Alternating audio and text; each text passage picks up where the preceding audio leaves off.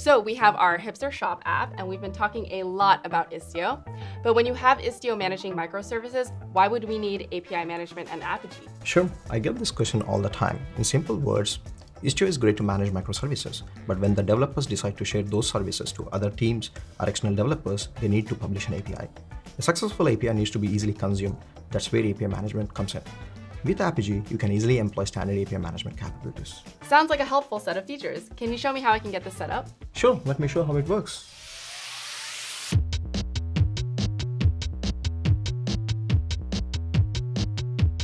Let's use Hipster Shop app for the demo.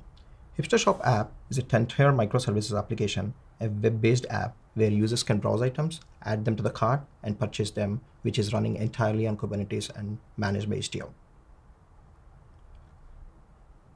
This is the service architecture of the Hipster Shop app.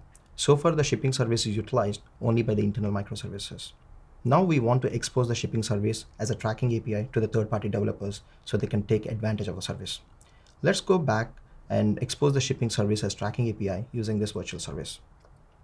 Tracking in the API path is pointed to the shipping service which is running on Kubernetes. Once the service is created, let's access the API to see if it is created successfully and we can retrieve the tracking details of the tracking ID. Once the necessary Apigee provisioning is taken care of, these definitions here are to configure the Apigee mixer in Istio so that we can start using the capabilities. Let's look at some of the things we can do in Apigee. This configuration tells Istio to send all the required attributes to Mixer for each transaction, which will be forwarded to Apigee for analytics reporting and apply rules to traffic flowing through the Istio service mesh. Once the configurations are set, let's create a rule to capture analytics for all the inbound calls to the microservices. This records all the above defined fields and forwards to Apigee for analytics reporting. Let's go to the Apigee Management UI to access the out-of-box reports to view the metrics for all the microservices or for an individual service.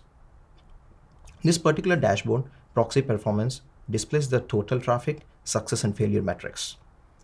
There are out-of-box reports and custom reports to get various metrics like error code and latency and more.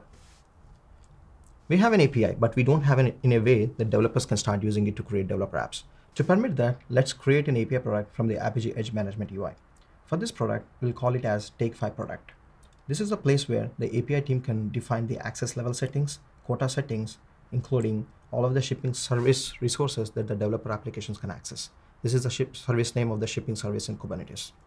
Once the API product is created and available, developers can go to the Hipster Shop developer portal to test the API and create their apps. Let's look at the API product and tracking API that is published. As there is no security, anyone that is logged in can access the API and retrieve the tracking details. In this case, the API team is unaware of who is accessing the API and is unable to enforce controls. Let's protect the API. This rule helps in safeguarding the inbound traffic to the shipping service with an API key. As the next step, we'll apply the rule. Developers can't access the API without a key, which they can they get by creating an app.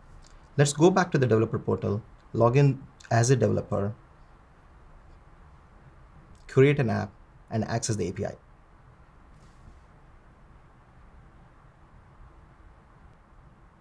This application will be called as Hipster Demo App and will copy the key that is generated.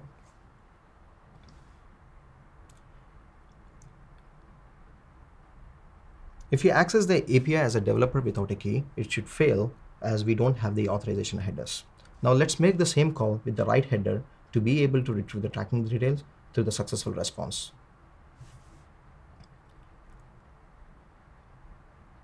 By doing all of this, you can see that Apigee is doing the API key verifications, security is enforced, and the API key is valid.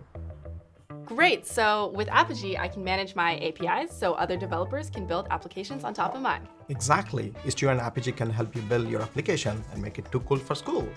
If you like what you saw, make sure to like, comment, and subscribe. And if you'd like to get in contact with us or know more about Istio, Apigee, and microservices, click on the links in the description.